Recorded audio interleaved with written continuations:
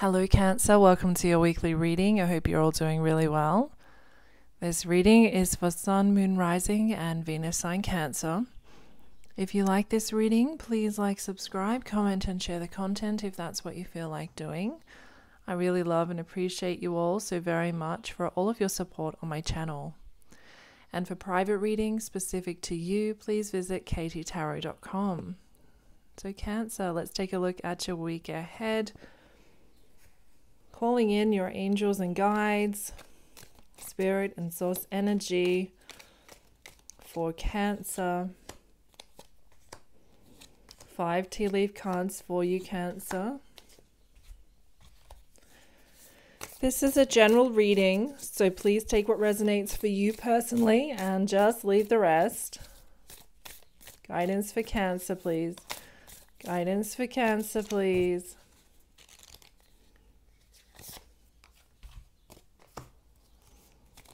Guidance for Cancer, please. Messages that need to come through for Cancer, please come through now. Messages that need to come through for Cancer, please come through now. This card here. Guidance for Cancer, please, Spirit. Guidance for Cancer your energy, Cancer, and the energy around you for the week. Let's take a look at your first message. We have the energy of the turkey. Someone is behaving stupidly. Someone is behaving stupidly around you this week, Cancer. It's going to be very, very obvious who this person is. You may already think you know who this person is going to be there is a, a strong sense here that you may have warned them, you may have given them advice. There may be someone close to your heart.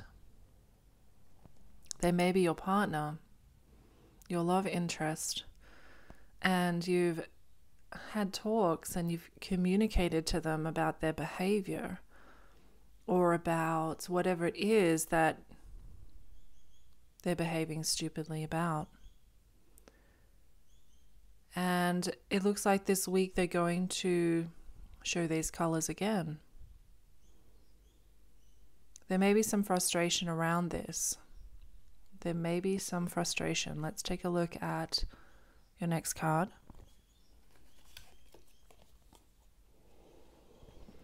We have the wedge. Someone is trying to come between you and a friend or something you want. So there's a wedge that's being put into a relationship. There's a wedge.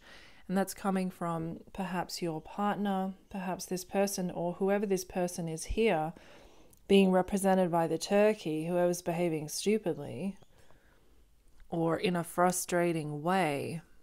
They're putting a wedge between you and them or maybe a third party trying to put a wedge between you and your partner, or it may that you are going for particular jobs or positions, putting a wedge between you and the job, or you and your manager, or you and a relationship that you're wanting to forge, or something that you want. So be aware of this. There's someone around you or a circumstance around you that's going to try and block you from achieving uh, what you want here, Cancer. We have a diamond energy, a diamond. So you will be receiving or giving a precious gift. And this could be an actual gift or it may be a compliment. It's something very close to your heart. So you'll be there's an energy of exchange here between you and another which is very positive. So that it could mean that, that there's a turnaround in this relationship and things start to improve in this relationship, or it could be a different situation. There's an energy here of beautiful exchange between you and another. We have the energy of a chair being filled. Someone new is entering your life, Cancer. Someone new is entering your life. And we have the hand in need of help, assistance, and guidance. Perhaps someone is entering your life because they are in need of help, assistance, or guidance. Or you yourself may be reaching out to another because you're in need of these uh, things. So we have some interesting energy here coming in to begin your reading. Let's take a look at your next card. Yes, I really love this energy, Cancer. Actions speak loudly. Express your love through actions.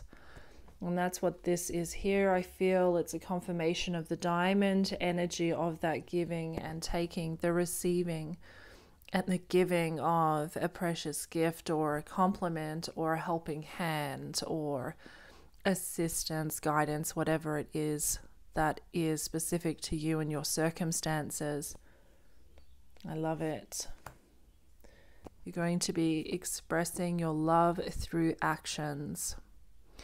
And you'll have at the forefront of your mind this week, Cancer, that actions speak loudly or more loudly than words. So someone may be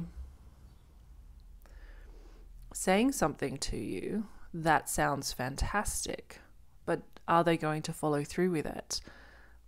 Are they going to show you with their actions and their doings what they are telling you? And that's going to be highlighted this week for you.